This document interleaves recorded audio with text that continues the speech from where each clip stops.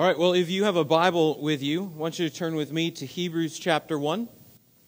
If you don't have a Bible, the uh, ushers have some Bibles there in the back. Sorry, I meant to give that to you earlier. Congratulations. Uh, the ushers have Bibles, just wave to them. They'll get one to you. You're going to want one with you this morning. If you're visiting, here's what you need to know. One of the things about Grace Pointe is that when we, right up here in the front, you got a waving hand. There you go. One of the things you need to know about us is that when we get together, when we teach, we're not just teaching some nice ideas, we're not teaching self improvement or uh, uh, positive thinking, we're teaching God's Word. Right? That's really what this is all about. And, and so we're going to be digging over these next number of weeks through, through the book of Hebrews. So you're going to want your Bible with you as we go as we go through the series. You know, I love hearing people's stories. It's one of the great benefits of being a part of a church community is you get to hear stories, you get to see lives being transformed and changed, and it's been a joy to hear the stories from our elders. And I want you to think back about Dennis's video. Ignore the fact that he's uh, from Alabama. Uh, at one point in time, he said, in the, you know, when he was kind of at that point, there was, there was a question in his mind where he goes to the football field, he stands out there, and he says, God, if you're there, and I want to ask you this question Have you ever found yourself in that place? Whether before you became a Christian or even after you became a Christian, where you started asking some hard questions, started wrestling with, with doubts, maybe questions like, is, is this, did this all really happen? Do I really believe this is true? Have you ever found yourself asking yourself those questions? My guess is, and it's a guess, but I think it's an educated one, is that 100% of us in this room have found ourselves at that place at some point in time, even as Christians. I mean, that's a reality. Uh, you some, for some people, that's a frightening thing. Some people think that uh, to be a good Christian means to not have doubts, it means to not have questions, to not wrestle with any of those things. But in my mind, that's the same as saying to be a good Christian means that you never have any fear. You never get worried, you never have stress, you never get anxious about anything. I mean, reality is, is we've all faced, we all deal with fears, we all deal with stress and anxiety. See, to be a good Christian doesn't mean you never deal with those things. Here's what it means to be a good Christian it means you know where to take them and you take them there. Being a good Christian isn't about not having questions and doubts. It's about knowing where to take them and actually taking them to that place. Elisabeth Elliot, you remember there was a movie that came out a few years back. It was called uh, The End of the Spear, I think. There's a story about missionaries who were going down into Ecuador and trying to reach out into uh, the, the jungles there to reach the tribes. And her husband, Jim Elliot, went down and they, he ended up being killed. And she says this She says, Faith does not eliminate questions, but faith knows where to take them. Faith doesn't eliminate questions, but it knows where to take them. We come to the book of Hebrews where actually the people that are being written to are people like you, people like me, people like us people who are dealing with questions, they're wrestling with questions and doubts. Uh, the, the reason it's called Hebrews is because it's written to Hebrews. It's written to Jewish Christians, Messianic Jews. You remember at the very beginning of the church, go back to Acts chapter 2, the day of Pentecost. Where does the church kick off? It's in Jerusalem.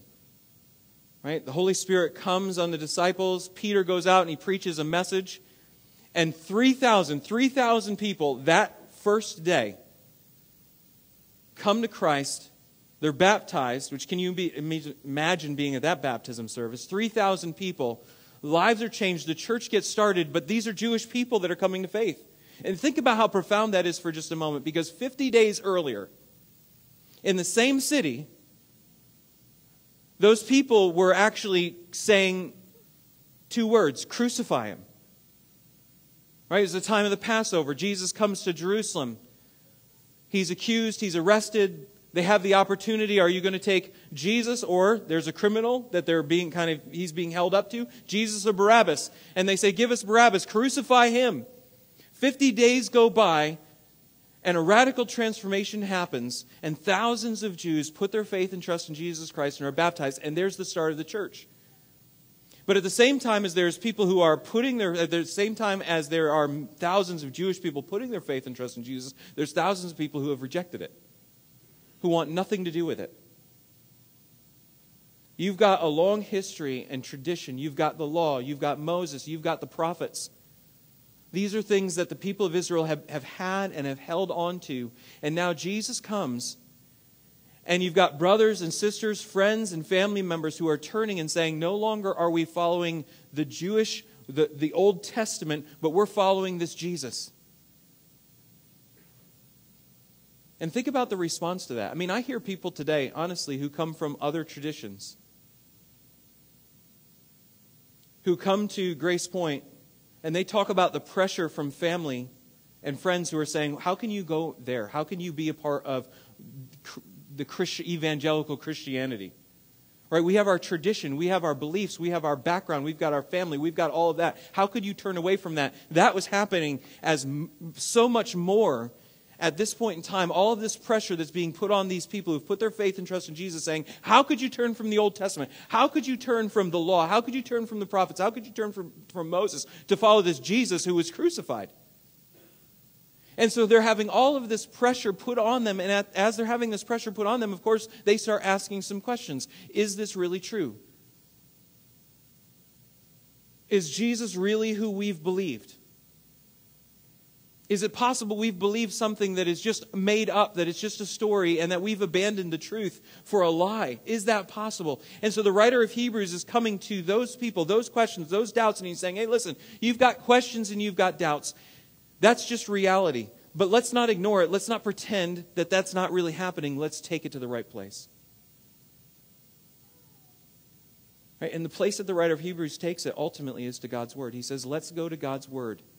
Let's go to the Old Testament. Let's go to the Old Covenant because, again, what's happening is you've got Old Covenant and Old Testament is really saying the same thing. You've got the Old Covenant, the law, and Moses, the prophets. You have all of that. And the New Testament is the new covenant, Jesus, the gospel, his life, death, and resurrection. You've got those two being held up to each other. And what you've got is some people are saying, no, the, this is the truth. The old covenant is the truth. That's the way. That's how we're to live. You can't abandon that. And then you've got the, uh, the, the, those who have believed in Jesus saying, no, this is the way. And you've got these two being held up together. And what the writer of Hebrews is doing is saying, okay, let's hold them up together for a moment. Let's look at God's word and what it has to say. And here's how I want you to think about the book of Hebrews. In Luke chapter 24, you've got, two, you've got some disciples who are walking on the road to Emmaus. And they're dealing with questions and doubts. Jesus has been crucified and he's been buried. They've heard that he's risen from the dead, but they're not convinced. Jesus comes walking up alongside of them as they're on the road and he begins asking them questions. They seem a little bit down. He asks them about what's going on, and, and it's, it's actually a kind of a funny interaction. Because they said, Well, haven't you heard about the things that have been going on in Jerusalem in these last days? And he says, Well, what things? He's been at the center of all of them. I mean, it's been him. That's what's been happening. What things? And they go on about how, well, Jesus came and we thought he was the Messiah, but now he's been crucified and buried. And some of our women said that he'd risen from the dead, but and they've got questions and doubts. And what does Jesus do? He takes them, again, it's not about ignoring those questions and doubts, but knowing where to take them. And he takes them to the right place. And let me just read exactly what it says to you because I think it's pretty amazing. Luke chapter 24, listen to what, it, what happens.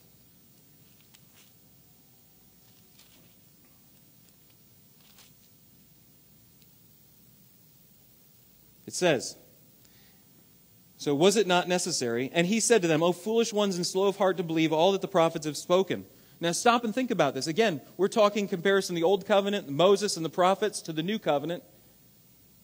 And they've said, We thought, but we have questions and doubts. And what's the first thing that Jesus says? He says, Let's talk about the prophets, those foolish ones and slow of heart to believe all that the prophets have spoken. Was it not necessary that the Christ should suffer these things and enter into his glory? And listen, and beginning with Moses and all the prophets, he interpreted them in all the scriptures, the things concerning himself. In other words, Jesus, here on the road, says, Hey, listen, you've got questions or doubts, let's take it to the right place. And where does he take them? He takes them to Scripture. And at this time, Scripture is the Old Testament. He gives them a Bible study on the road, and he says, Look at the Old Testament, look at Moses, look at the prophets, and here's what you need to know. Jesus says, It all points to me. I've heard some people say, Boy, I wish I could have been there. I wish I could have heard Jesus' you know, interpretation as he went through the Old Testament, showing them how it all pointed to them. Well, that's what Hebrews is. Not literally, but what it's not actually somebody's writing down here's all the words that Jesus said. This is a letter that's written to Jewish Christians much later on, 40 to 70 AD, close to Jesus' death, burial, and resurrection. But this is really what we're getting is Jesus' Bible study on the road to Emmaus. Because what the writer of Hebrews is doing is saying, hey, listen, yeah, we've got the old covenant. Let's take a look at what it says. Let's hold these two things up next to each other. Let's hold the old covenant up next to Jesus. And what his ultimate message is this is that Jesus is not the replacement, but he's the fulfillment. Jesus is the one that the Old Testament has been talking about in every single way. Let's go through, and that's what we're going to do. He says, We're going to go through, and I'm going to start at the very beginning, and we're going to go through, and I'm going to show you how every single piece has been pointing to Jesus. And the ultimate message is Jesus is what it's, it's, he's, he's what it's all about. You know, there have been times, uh, I've got four boys, and there's times where, uh, through, you know, where we've had these Christmases, and you get these presents, big wrapped boxes, and you those of us who are parents probably can relate to this. And they open the, they unwrap the box, they open the box, and then they take the present out and they play with the box. And you're going, wait a minute, I just gave you this gift over here that I spent all of this money. You're telling me I could have avoided the gift and just given you a wrap box and you would have been content? What the writer of Hebrews, in essence, is saying is listen, the old covenant is the wrapping in the box. It's good. But at the end of the day, there's a gift. There's been a gift inside that's been waiting to come out. Don't just have fun with the box and miss the gift. And at the end of the day, there's one question that we have to keep coming back to, and we'll come back to it over and over again. It's this one question it's what will you do with Jesus? Writer of Hebrews says, in every single possible way, Jesus is greater. He's what it's been all about. Again, not the replacement, but the fulfillment. He's what everything's been pointing to. The ultimate culmination of all things in Christ, what it's all been leading to, what it will all be leading to in the end. What will you do with Jesus? You have questions and doubts. Well, let's take it to the right place. And that's what we're going to do over these next few weeks. So take a look with me. Hebrews chapter 1. Would you stand with me as we read our passage together this morning?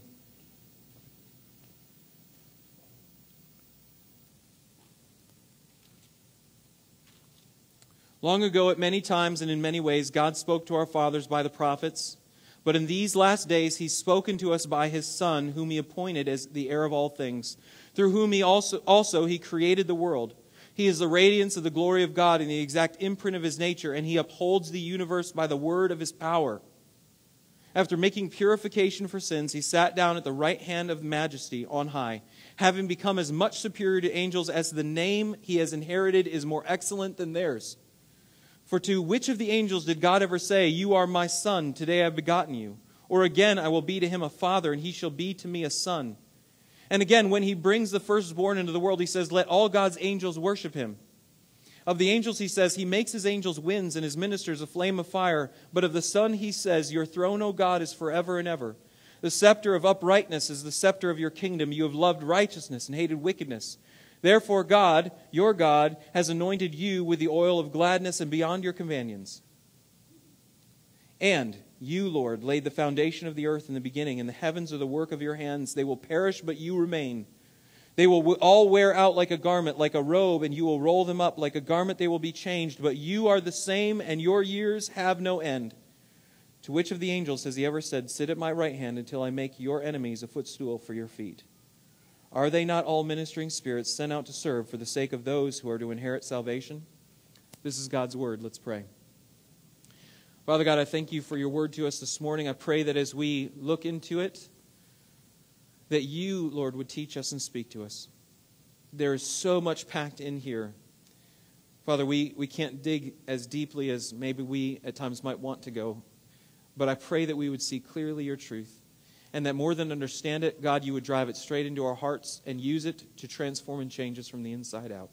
We pray for your glory in Jesus' name. Amen. You may be seated. So, the writer of Hebrews is dealing with these questions. He's dealing with these Jewish messianic, right? They're messianic Jews, they're believers. And the pressure that's being put on them and the questions that they're asking, the doubts they're wrestling with, And it's interesting as he holds, he says, let's go to the Word. We're gonna, we want to take these questions and doubts. Let's go to the Word. And what's interesting is the place that he starts. Because if we're dealing with the Old Covenant, we're dealing with Moses and the law and the prophets, you'd think that the first place that he would start is with Moses. Let's just go to Moses. Let's go to the law. And he is, in essence, that's what he's doing. But the question that we ask, obviously, we come to this and we go, okay, so what's this deal with angels? Why does he start there? You read through the rest of the letter and you'll see it. It's very clear that he's talking about the law and the, he's going to go through the, the, the sacrificial system, the priests, uh, the giving of the, all of those things he's going to go through. And why does he start with angels? It seems strange to us, but it's actually, if you understand Jewish tradition, it's not strange at all. Because what the writer of Hebrews do, is doing is he's saying, let's go to the very beginning. Let's go to the very start. According to Jewish tradition, when the law was given, it was given by God to Moses, but it was given by God to Moses through angels. And what these uh, followers of the old covenant were saying to these believers, these Christians, is they were really saying is, listen, do you understand how we got the law? Right, you've rejected the law, you've rejected the old covenant, you've decided you're going to go after this Jesus, but think about this for a moment. God gave us the law, God gave the law to Moses, but listen, he gave it through angels. And angels are far, I mean, think of the angels are powerful. Angels are superior to us. They're greater. If God would give Moses a law through angels, how can we question that kind of authority? And the, what the writer of Hebrews says is ultimately, let's think about that for a moment. Let's take a look. Let's compare the two. Let's talk about angels and let's talk about Jesus.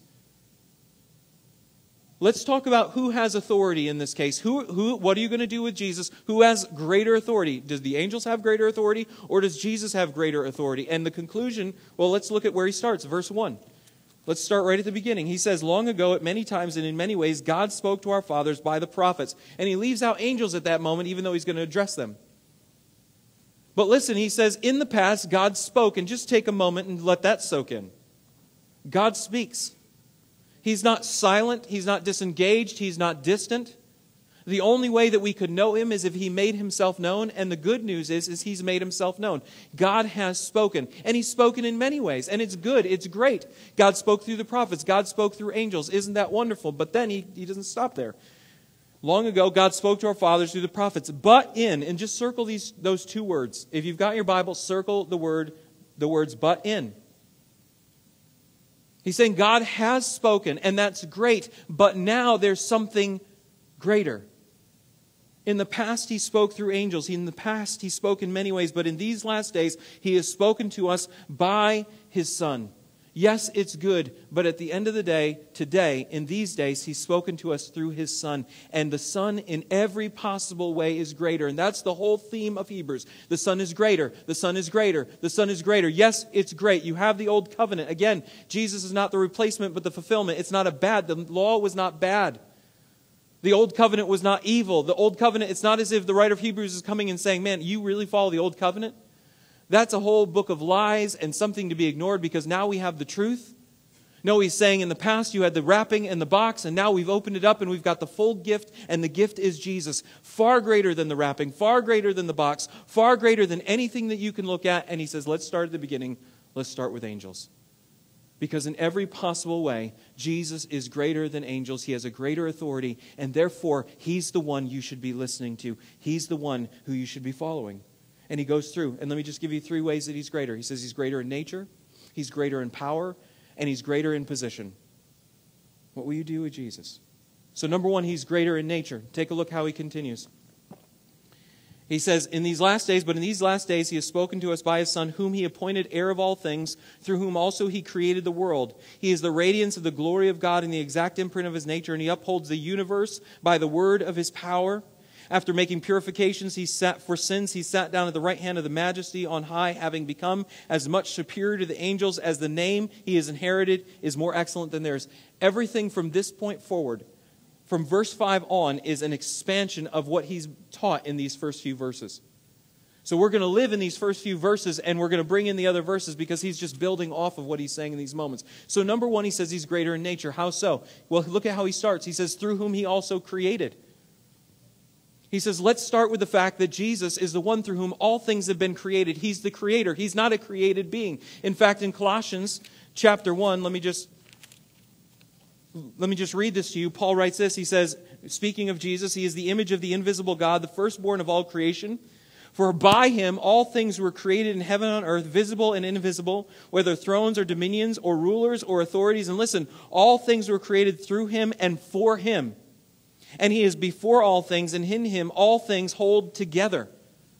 There is nothing that has been created that was not created through Jesus. And what does that mean? It means that Jesus wasn't a created being, he is the creator. Which the second point there in your notes is number one, he's creator. Number two, he's eternal. He has no beginning and he has no end. If nothing that was created was created apart from being created through him, then there's no way that he could be created. Because he's the creator, he's the one through whom everything was created. It's John chapter 1. He says, In the beginning was the Word, and the Word was with God. In the beginning, the Word already existed. Jesus is the Word, and He already was. He has no start. He, ha- he wasn't created. He's not as if, it's not as if, as some have taught, that Jesus is a greater angel who was created in advance, ahead of time, before everything else was created, and then God created through him. He's not a created being. He has no beginning. He's eternal. He has no end. In verse 10, listen to what verse 10 says here in Hebrews chapter 1. Take a look at it. Verse 10, it says, You laid the foundation of the earth in the beginning, and the heavens are the work of your hands. They will perish, but you remain. They will wear out like a garment, like a robe. You will roll them up like a garment. They will be changed, but you are the same, and your years will have no end. Not only was he there at the beginning, but he will have no end. He is eternal. He's creator. Angels are created. He's eternal. Angels are finite. At the end of the day, the only possible conclusion when you put all of those things together, even just those few things, what you have is not just that he's greater than the angels. We're dealing with someone who is of the greatest level. This is God Himself. Right? It's what John says. In the beginning was the Word, and the, was, the Word was with God. And listen, and the Word what? Was God. We're not dealing with anything less than God Himself at this moment. Who has greater authority? Right? Look at how he continues. He says in chapter in verse 1, or excuse me, chapter 1, verse uh, verse 3, he is the radiance of the glory of God and the exact imprint of his nature. Just take those two things for a moment. The radiance of his glory, the exact imprint of his nature. Right? What are we what are we talking about in this moment? We'll think about it in human terms for a moment. So I have four sons. When you look at them, some of them you see very clearly, you know whose sons they are. Why?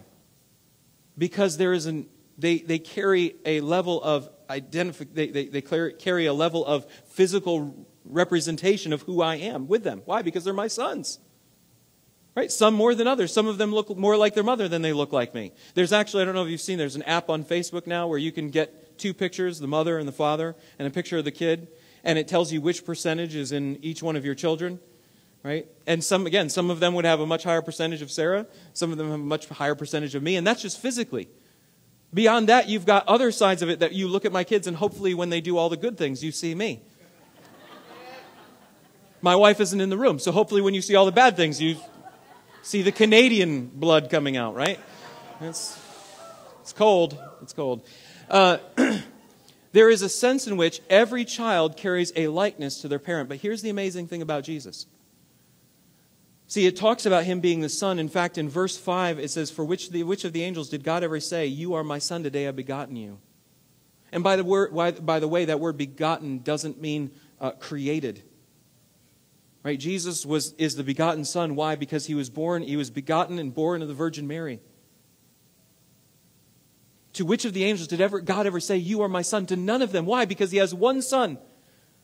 Jesus, the Son of God, who doesn't just care. it's not like he's the mini version of the Father. You look at him and he's got some of the Father. It says he is the exact imprint. He is a perfect representation. It's like looking through a window into heaven. That when you look at Jesus, here's who you see. You get to see the Father. Jesus says, I don't do anything unless I see the Father doing it. What the Son loves, the Father loves. What the Father hates, the Son hates. They are unified. They're together. Father and Son. He's the exact, it says the exact imprint. So, what does that word imprint mean? Well, at those points, and we actually still have it today, but there came out, I think it was around uh, 700 BC, people began to imprint on coins. Right? If a king or a ruler wanted to, people to know who was in charge and who what this kingdom was really all about, they would have a picture of themselves imprinted, stamped onto a coin. Back around 700 BC, in fact, you can go on. I went on. I should grab some of the pictures. You go on, you get to see some of those imprints, and they're not very good representations of those people. Right? Why? Because at the beginning, they didn't have the technology that we have today. Today, you look at some of those brand new coins and it's like a 3D image. In essence, that's what we're getting here. In the past, we had, there are things that we could look at and we could see reflections of who God was, but they were imperfect. They weren't the fullness of it. Even in creation, we're told in Romans 1, they were able to see the invisible attributes of God in creation. Evidence of his presence, evidence of who he is, his nature. But what the writer of Hebrews is saying, hey, listen, when you look at Jesus, you don't get to just see a little bit of who he is, you get to see him. If you've seen the Son, then you've seen the Father. But because they're united, they're together. And at the same time, there's a distinctness here. Why? Because he's not saying, hey, listen, to whom did I say I went from being the Father to being the Son? What we have here in this moment is you have the Father and the Son you have this sense in which they're completely unified and yet they're distinct. And what we're getting here in this moment is we're getting the Trinity. Right? It's not a word. The word Trinity is never used in the Bible. You'll never find it there. If you even do, if you do word search, you won't find it. But we see it throughout Scripture. We see this presence of the fact that there is there's one God, but yet there's multiples. Not multiple gods, right? But you have Father and you have Son, and we also know that there's the Holy Spirit and there's this essence in which there's three, and yet at the same time, it's not as if we have three gods. There's one God, there's only one God that we worship. That's what the Trinity is. God is, think about this for just a moment, and this is so deep, it's beyond our grasp. Trust me, you can spend the rest of your life thinking about this and never be able to get to the bottom of understanding it completely. But God is so one that we don't have three separate gods, but he's so three that we don't have one God who becomes father, who goes from being father to becoming son to becoming spirit. He's so one that he's not three gods. He's so three that he's not one God who takes on three different forms. He's one God, three persons Father, Son, and Holy Spirit, co eternal, co equal, completely and totally unified, and yet distinct in their persons, unified in their nature at the very essence of who they are. And that's what the writer of Hebrews is saying about Jesus. He's saying, listen, who are we dealing with here? We're not dealing with an angel. We're not dealing with a higher level of angel. We're dealing with very God. So the Apostles' Creed. Who is Jesus? He's very God of God. The second person of the Trinity. And so who has greater authority? Who are you listening to? Who's the person that you're going to turn to when you say, What is really true? What should I follow? Where should I go? He says, Jesus is greater in nature. By nature, who is he? He is very God of God. Number two, not only is he greater in nature, he's greater in power. Two things that I'll just point out briefly here. He says, so he says, He is the radiance of the glory of God and the exact imprint of his nature right? Nature being the very core of his being. And he upholds the universe by the word of his power. And just read the very beginning of the next sentence after making purifications for sins. He sat down at the right hand. He says, Let me tell you two things about the power of this Jesus that we're talking about. Number one, he holds all of this together. Not only is it that he created it, but he sustains it by the word of his power. The word, just a word by what comes out of his mouth. He holds all of this together. I mean, think about the intricacies of our universe, of what we know about it, and everything that has to be in place in order for you to live, breathe another day. All right, if the earth is 10% closer to the sun, we burn up. If the earth is 10% further away, we freeze up. And yet it's still, it's continuous. It goes, it keeps spinning, it keeps going around the sun, it stays close to the sun. And we say, well, how is it that we have this consistency and this certainty? We don't go out today and wonder if the sun's going to be there. We know it's going to be there. And yes, science says, well, there are laws and it all holds together. Well, behind the laws is a lawmaker. It's the one who holds it all together, Jesus Christ, who created it and holds it together. And not only does he hold it together, but he's also the one who redeems it. It says, and after making purification for sins, and in that one short statement, you have such deep and profound, it's absolutely astonishing, such deep and profound truth in one statement. And I know I don't even have time to go into it all. But in that one phrase, here's what you have Jesus Christ, God the Son, the Son of God, took on flesh and blood. He came and lived a perfect life, went to the cross, and died the death, paying the penalty for our sins. What angel did that? None. What angel could do it? None. But it didn't stop there. He died, he was buried, he rose again, he conquers sin and death, he defeats death. And listen to this he does it by his own power. He says, No one takes my life, I lay it down. And I lay it down, I have the authority to take it back up. He says, There is no angel that has that kind of power. There is no power like his. He's greater in nature, he's greater in power, and he's also greater in position.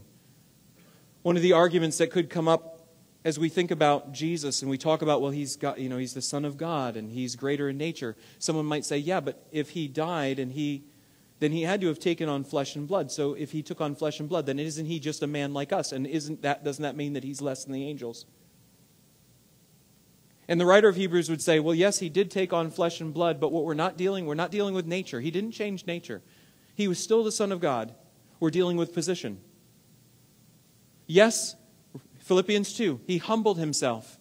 He took on the form of a man. He took on the form of a servant. It was a positional, positional transition, not a nature transition. He remained the Son of God. He took on flesh and blood, took on the form of a servant. He served us. But understand that positional ch- change was temporary because what's the result? The result is this. After making a purification for sins, after serving, after humbling himself and serving us by taking on flesh and blood and dying the death we deserve, rising again, conquering sin and death, he sat down at the right hand of the majesty on high, having become as much superior to angels as the name he has inherited is more excellent than theirs. Jesus is exalted. He's given the name above every other name. Yes, he took the position of a servant, but he rose again. He conquered sin and death, and it says he's seated at the right hand of the Father.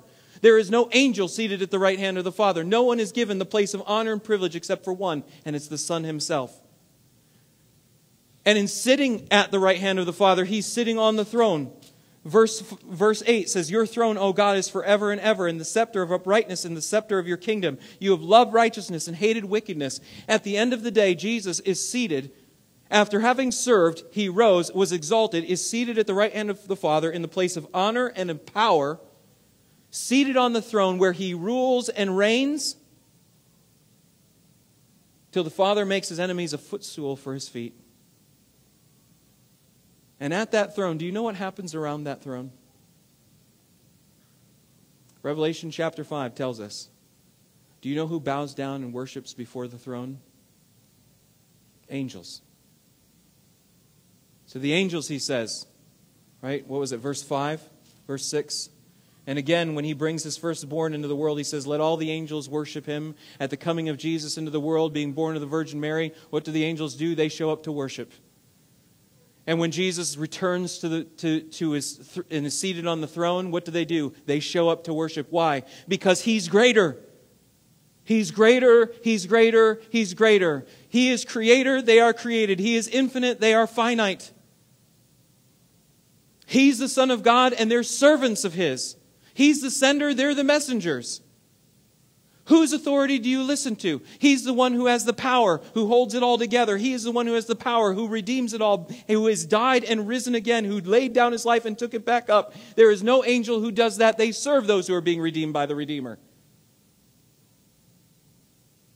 He is the one exalted. He is the one seated on the throne. He is the one who rules and reigns, and they are the ones who worship before him, who serve his purposes. Are they not? The very conclusion, verse 14, what does it say?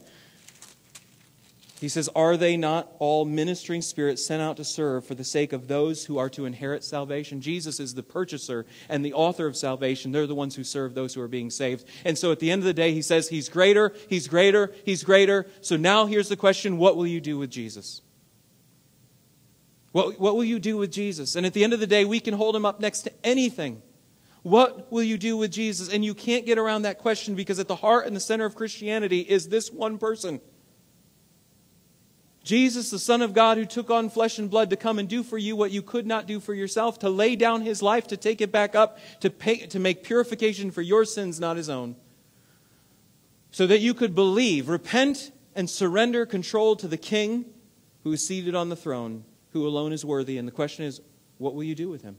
See, if he's not, and at the end of the day, it's the question of do you believe it or not? Because if he's not those things, then you should run the other way as fast as you can. Don't waste another moment on him. But if he is, he's worthy of more than you showing up on a Sunday morning and listening to a message and nodding your head. Do you know what he's worthy of? He's the King of kings and the Lord of lords, and he's worthy of nothing less than your life surrendered in faith. You know, believing. Believing is more than just what happens up here. We're to believe with our hearts. And we talk about the heart, we're talking about the very control center of your life. To believe is to give the control center of your life over to Jesus Christ. And so the question is what will you do with Jesus? Do you believe in Jesus, who is the Savior, who has always been and always will be King of kings and Lord of lords?